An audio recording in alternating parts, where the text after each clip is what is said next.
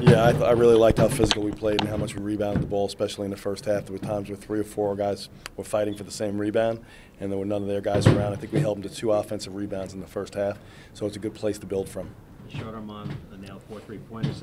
I can see in the second half he frustrated you taking a couple of shots there. well, it's not it's it's not the frustration of his shots because I think if he's open, he's got a great chance of making. I just want him to play defense at the same level as our other guys, and when you get a big lead, I don't like to see guys take plays off because the game can change really quickly. Tim, does he give you something that maybe you didn't have last year because you know you're getting offense off the bench? You know, the days he makes shots, he does. You know, and, and right now, we're like we're like an every other day team. We make them one day, and the next day we don't. I think for us to be good, we have to be more consistent than that. So I think with a nice lift of him coming off the bench and as Kyle Smythe, Smythe gets healthier, I think we're going to have that one-two punch, one starter and one coming off the bench. They're going to make us better.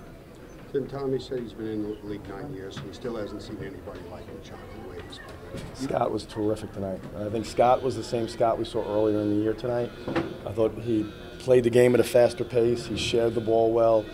He offensively got us into our sets quicker than we had we had been doing recently. And on the defensive end, he took leadership, especially on the out of bounds plays, directing our guys where they should be. So he was a true point guard in every aspect. Did a great job. Not that you're taking him for granted, but are you a little surprised at the level that he's reached, considering where he was when he got the job? Oh uh, yeah, he's reached a much higher level. I just want him to sustain it because uh, every now and then I see, you know, flashes of not sustaining it. And when he brings it back like that, it's really good to see that he can have a game or two where maybe he doesn't play at that high level and then bring it back and get back to playing at that pace and that style and be a tremendous player. And when he plays like that, we're very tough to beat. Hear about the conversations about the best point guards in the country, I mean, you coach them every day, you see him every day. Do you think he belongs in that discussion? Absolutely. Absolutely. I mean, he's getting 10, 15 assists a game. And again, we don't have all Americans all around him. So he's making plays and understanding our offense and, and the talent around him. Like he knows who to throw it to, not just the jersey. That's the difference between a good point guard and a great point guard. Good, good point guard throws to the jersey. A great point guard knows who's wearing that jersey. And he does that, and he knows where to put guys in their best spots. If you want to run a play, he knows if Mike's better on left side or right side. He knows if Sean will hit a jumper better going to his left or right. So he'll direct him into the right areas to set him up for that. Did you know when he came out? Probably not, but that he was a rebound short of a triple double. we knew that, and I gave him a couple, I told him we were going to give him a couple of minutes, but in fairness, I wanted to give other guys a chance, and he played a great game, and I didn't want to injure him. We have a big game coming on Monday.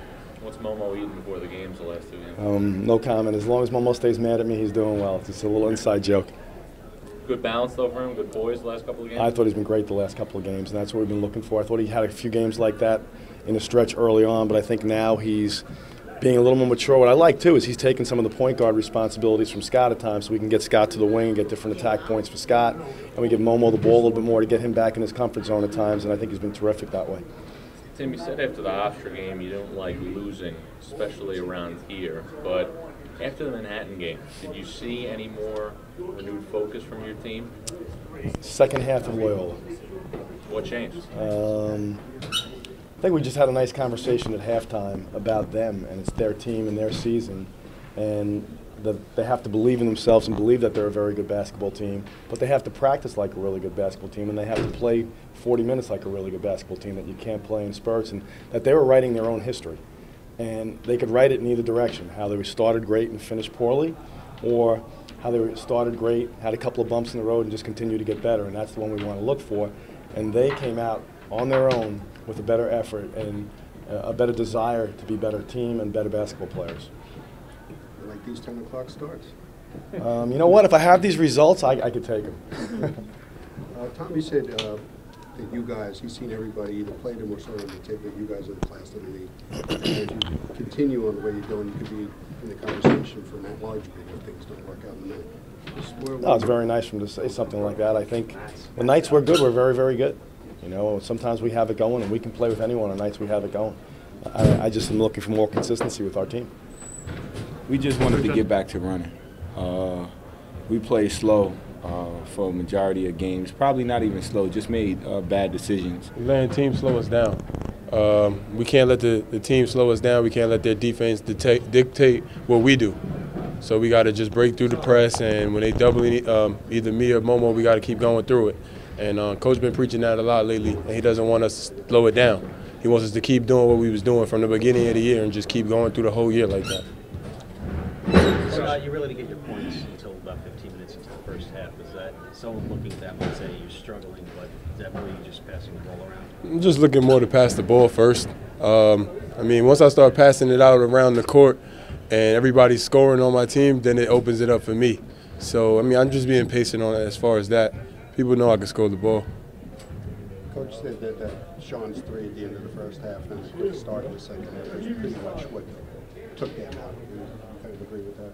Yes, I agree. Can we talk about uh, Scott's play tonight? One rebound short of a triple double. That one was crushed, yeah. huh? Nah, it's a rebound in there somewhere for him. um, I mean, he, he plays a phenomenal game. Um, he comes out every night and he gives it all, his all, um, and he tries to do what he does best. Um, he gets us in our offense. Um, he gets us going, uh, especially me and Mike. Uh, and he does the things that we expect him to do night in and night out. You know, practice every day on a daily basis. He does it, um, and it reflects in every game that he plays. And tonight he came out and he did it again. And um, you know, it's no surprise. Scott, what's the dialogue been like since the Manhattan game? Um, I mean, we're upset we lost that game, but uh, we got to move on. We just got to keep winning. We got to keep winning these games until we get back to them. But we're not worried about them right now. Have you and Glove and some of the upperclassmen talked about what's at stake here, considering this is your last go-around from what we went through last year? Um, yeah, we do. We speak about it all- all the time. Uh, this is our last year. We want to go out with a bang, and we got all the perfect pieces to do it. It's just everybody staying focused. That's the hard part.